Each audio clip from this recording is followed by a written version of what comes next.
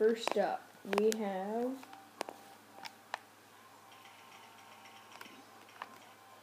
Iron Man Mark 1. Now, he can't do much, but I'm going to show you what he can do. So if I'm jumping twice, and float, hover a little bit, he can, if you hold B,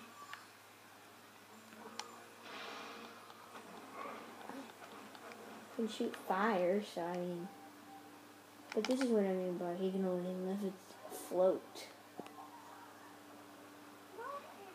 see.